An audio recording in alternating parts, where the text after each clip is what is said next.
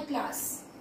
Every day we see a variety of things around us. They differ in size, shape, color and many other things. But two things are common. First, all objects have mass. So now students, what is mass? Mass is a quantity that tells us how heavy or light an object is. Mass is measured by weight. For example, this eraser, pen, ball, they are light in weight. But the book, water bottle, this board, they are heavy in weight. Similarly, all objects take up space. For example, books, they take up space on the table. You take space on the chair. Your clothes take up space in the cupboard. So, anything that has mass and occupies space is called matter. I repeat, anything that has mass and occupies space is called matter. So, this water bottle is a matter, this book is a matter, this ball is a matter, this table is a matter, this board is also a matter. Matter includes both living and non-living things. Living things means plants, human beings, we all are matter. Matter like air, water, etc. they are also matter. So, ultimately we can define matter as anything that has mass and occupies space. Now, we should note one thing here. Light, sound and electricity are not matter. I repeat, light, sound and electricity are not matter because they do not have mass and they do not occupy any space. Now, all matter is made up of tiny particles called molecules. These molecules are the building blocks of matter.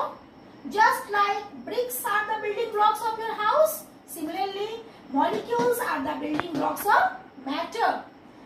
Now, these molecules are made up of atoms. The word atom has come from a Greek word which means indivisible. That means it cannot be further divided into small parts. The molecules are so small that they cannot be seen with our naked eyes. They can be seen only under a powerful microscope. Now, this is the molecular arrangement which we can be seen under a microscope.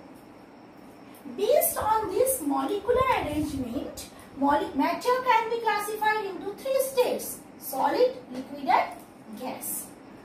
But before going into the detailed description into the three states of matter, you should understand the concept of intermolecular space and intermolecular force of attraction.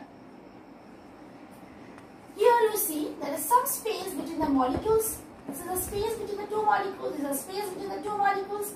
This space or gap between the two molecules, it is known as intermolecular space. In solids, the intermolecular space is very small and in gas it is very large. Okay, students? So, in solids have very less intermolecular space and gas have very large intermolecular space. And, see, these molecules, between these two molecules, there is a force of attraction also working there. So, the force of attraction between these two molecules, it is called intermolecular force of attraction. These forces are very strong in solids as compared to liquids and gases. And in gases, the intermolecular force is very weak or, or I can say it is very weakest. Gases have very weakest intermolecular force of attraction.